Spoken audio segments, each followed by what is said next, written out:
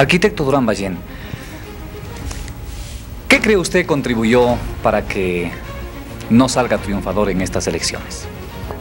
Una campaña permanente de crear una imagen muy distinta de lo que es el señor Durán Ballén y pues indudablemente esto caló pero se dice lo contrario, arquitecto, que más bien el Frente Nacional Constitucionalista trató de deteriorar la imagen de. No, perdón, yo no le puedo aceptar eso en ningún momento, ni a usted ni a nadie le puedo aceptar eso, porque a usted le consta que el señor Bucarán ha insultado al género humano durante un año, que el señor Bucarán cada jueves del año ha dicho que yo soy extranjero, que el señor Bucarán ha dicho todos los, años, todos los jueves del año que mis hijos son extranjeros, no obstante que nacieron aquí en la clínica y ahora atendidos por el doctor César Jacome. De manera que han sido ellos. Hemos sido nosotros los agredidos.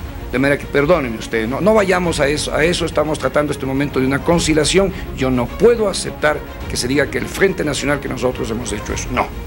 Hemos sido nosotros los agredidos. He sido yo contra quien se ha dirigido un arma disparando. He sido yo contra quien se ha tirado un escritorio de un segundo piso. He sido, hemos sido nosotros los que en cada situación que hemos estado hemos tenido contramanifestaciones. No hemos sido nosotros los que nos hemos provocado. De manera que en ese aspecto, por favor, yo creo que no debemos tocar ese aspecto. Bien, arquitecto. Quizá otro punto que casi es colindante. Eh, se dice que la presencia continua del ingeniero León Febres Cordero a través de la pantalla de televisión eh, causó, por decir así, un feedback negativo en la conciencia de los ciudadanos. Bueno, y sin embargo parecería que el ingeniero León Febres Cordero ha calificado y voluminosamente para ir al Congreso.